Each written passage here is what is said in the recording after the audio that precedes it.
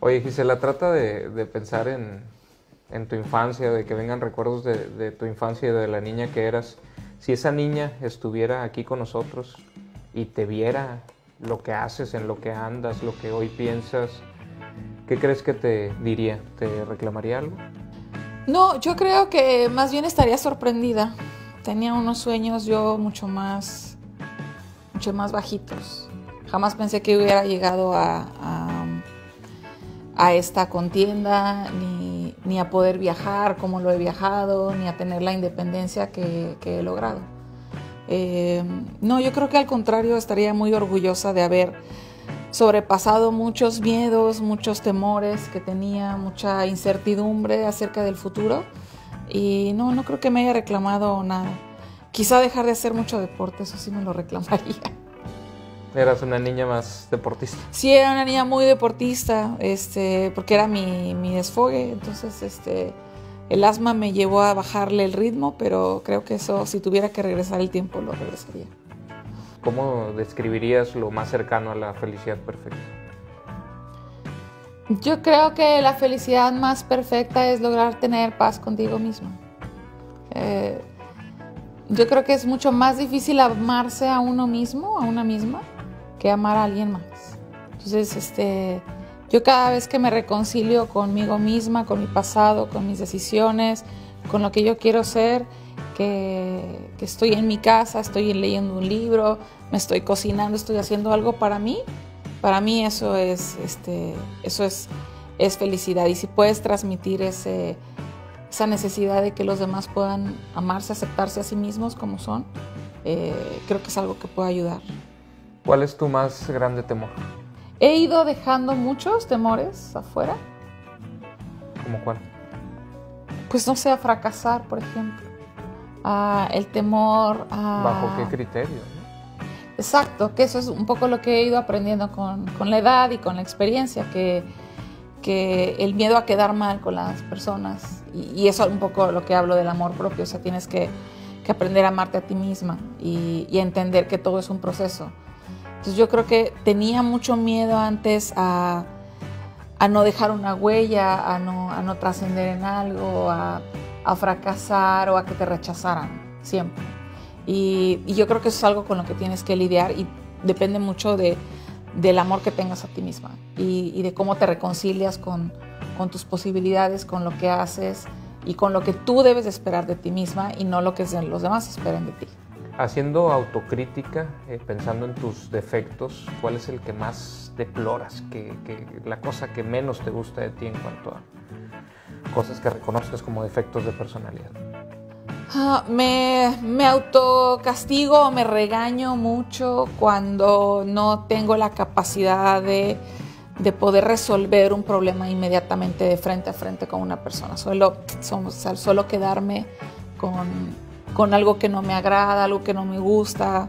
Eh, y, pero en los últimos años he aprendido a que tienes, que tienes que enfrentarlo, tienes que hablar, tienes que decir inmediatamente qué es algo que no te gusta, algo que te molestó, algo que, que puede mejorar.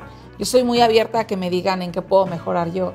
Eh, y por lo mismo trato de ser sincera con las demás personas y, y, es algo que no muchas personas toman muy bien, ¿no? que seas muy sincera y muy abierta en lo que dices. Creo que mejorar esa forma de decirlo, de dar una retroalimentación eh, con el equipo, con las personas con las que trabajo, es algo que la gente que me quiere siempre me ha dicho que tengo que mejorar y es algo que tengo que mejorar. ¿Cuál es la decisión más difícil que has tomado en tu vida? Yo creo que ha habido muchas decisiones difíciles eh, como salir a estudiar sin dinero. Eh, pero eso no te costó tomarlo. No, pero en ese momento sí, en ese momento te genera mucha incertidumbre de saltar al vacío. Pero yo lo que he aprendido de las decisiones difíciles, como por ejemplo aceptar la Secretaría de Movilidad, este, aceptar que, que, que puedo entrar a una contienda electoral, son decisiones que en tu tren de vida parece que no están y que de repente te cambian la dirección y que ese cambio lo haces porque tú lo decides. Esa es una decisión difícil.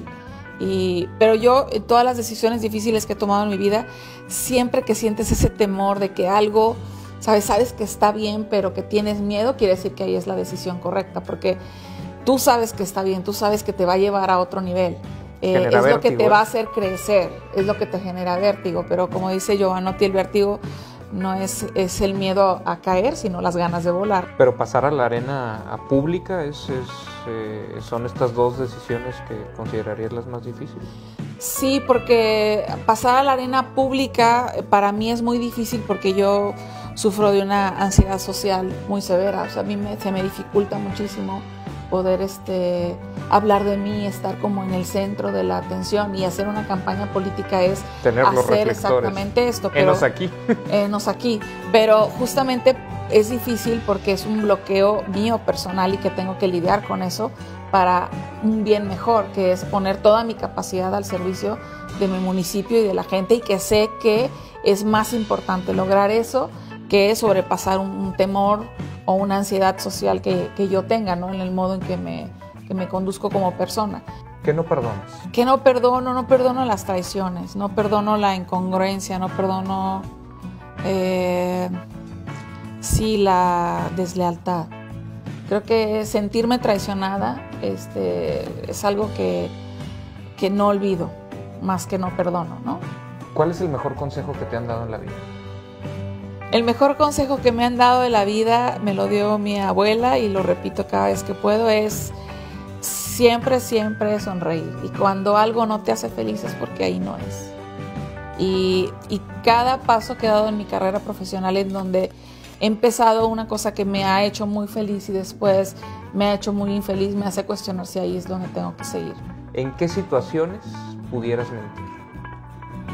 Cuando le voy a causar un dolor a una persona eh, que tengo enfrente, a la cual le tengo que dar una mentira. Entonces, si, si voy a causar ese dolor y no lo puedo evitar, no lo puedo decir de otra forma, prefiero hacerlo. ¿Cómo? No sé si te entendí. Por ejemplo, mi mamá nunca supo que me fui a Etiopía porque yo sabía que le iba a hacer sufrir y la mantuve en una mentira para que ella no sufriera. Eh, y, hice lo correcto. Ya que terminó todo, ya que yo estaba en una posición de decirle que yo estaba segura, que ya sabía que ya no se iba a preocupar, entonces le dije la verdad. Pero durante ese periodo le mentí. Eh, otro, otro caso es, em, hace unos meses tuve una operación eh, un poco delicada y le mentí a mi familia con respecto a la fecha y a la hora porque sabía que ellos iban a estar demasiado preocupados, porque ellos no gestionan la preocupación del mismo modo que yo lo hago. Entonces les mentí para que estuvieran tranquilos, para que no tuvieran eso. Y ya que había pasado todo, pues ya les dije la verdad y entonces siempre se enojan conmigo, pero esos son los casos en los que miento. Al final siempre digo la verdad, pero si puedo evitarle el dolor a alguien, a una mentira transicional, lo hago. ¿Cuál es tu posesión material más preciada? Ay, mi posesión material más preciada son, son las, las cosas que guardo de mi abuelita. ¿Y qué son esas cosas? Pues es mi anillo, es un suéter que está medio roto, es una pintura que le hice, es su última fotografía que se tomó conmigo. ¿Qué es lo que más te hace enojar? Firmar con una pluma Bic azul. Este, tengo una, soy obsesiva compulsiva, entonces quiero que las cosas estén limpias. Si veo algo que está chueco, este, ahí voy. Pero bueno, todos los que han trabajado conmigo saben que yo traigo mi paquete de plumas porque me gusta escribir bonito, tener una buena libreta. Eso me hace feliz. Una buena pluma, una buena libreta que me hace infeliz y enojar. Ver que me pasan a firmar un oficio con una pluma de Picasso. Pero es que tiene que ser con azul para que se note que no es una fotocopia. Pero ¿por qué tiene que ser Vic? ¿No puede ser Pilot? Dijo. ¿Qué te pudiera generar envidia? ¿Qué o quién? Me genera muchísima envidia quienes pueden pararse en un bar a cantar. Me genera mucha envidia porque yo soy incapaz de hacerlo. No soy capaz de... Pero te gustaría. Me gustaría poder hacerlo, pero... ¿Cuál cantarías? Una de Giovanotti. Una de Giovanotti en italiano rapeada, ¿no? Entonces, de hecho, la canto y, siempre pienso, híjole, si tuviera el valor de cantarla. ¿Pero en la regadera sí cantas o no? Sí, canto en el coche, canto, sí, me gusta. Yo creo que no tengo tan mala o te contienes? No, sí, me suelto. Ya también con la edad, ya con dos tequilas, ya también canto también. Pero, por ejemplo, me da muchísima ansiedad tener que cantarle feliz cumpleaños a alguien en un pastel.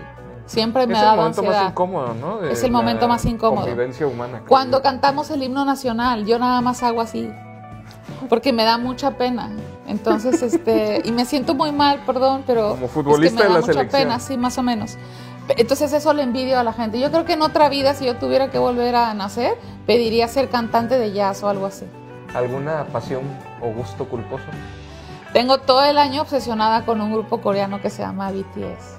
Y entonces ya obsesioné a mi hermana, que le dije, te vas a obsesionar, yo te conozco, y ya la obsesioné. Entonces, cada vez que me llega un mensaje de mi hermana, sé que me está pasando alguna ¿Pero un grupo de actualización qué? del grupo. ¿Musical? Un grupo Como musical que a coreano. los que no sabemos de eso, ¿qué, como, ¿a qué se parece? Pues, RBD pues, son, o sea, son grupo de ocho, no, son siete chicos, Hombres todos. hombres, este, bailan increíble, este, tocan padrísimo, componen, hacen reality show, o sea, todo, todo, no sabemos Todo los en coreano. cumpleaños, todo en coreano. ¿Cuál consideras que es la más profunda miseria humana? La indiferencia de la violencia contra las mujeres. Creo que eh, poder ver cómo se ha normalizado eh, que una niña sea violada, que una niña sea sexualizada, que sea víctima, víctima de trata y cómo este sistema económico político ha utilizado a las mujeres, creo que creo que es algo que me causa mucho coraje y que no debería de existir. ¿Tienes miedo a la muerte? No, no, no, no ¿Cómo te gustaría morir? Pues feliz, tranquila, muy viejita, con mis cosas en orden, eh, con mucha paz interior y, y solita. ¿Qué diría tu epitafio? ¿Qué diría mi epitafio? Diría feminista orgullosamente colinense. Eso diría.